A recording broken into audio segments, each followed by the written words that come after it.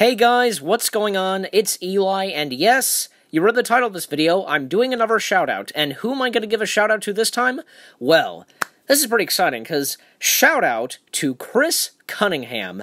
Um, I'm sure some of you would know who he is. Like, he is, uh, you know, probably, you know, he's well, probably well known for his Star Trek VFX videos because he does such a really good job with them. And actually, um, if you're watching this, I want to say, I want to say to you, Chris, that I've been following you even before I started doing YouTube.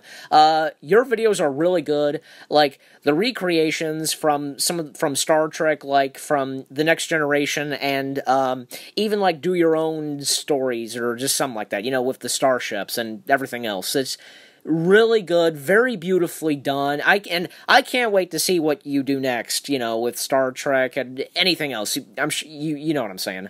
But anyways, so yeah, you guys go check out his channel. Link to his channels in the description, as well as one of his videos that he does, uh, specifically of Star Trek. Because yeah, even if you're even if you're a Star Trek fan and if you like those VFX videos and such, you will definitely like this. You know.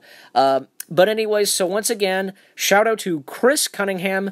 You you're awesome, and yeah, keep up the good work. Just yeah, and I hope you enjoyed the con the videos and such that that's on this channel of Little Blue. So yeah, and thank you so much for subscribing. That's really awesome.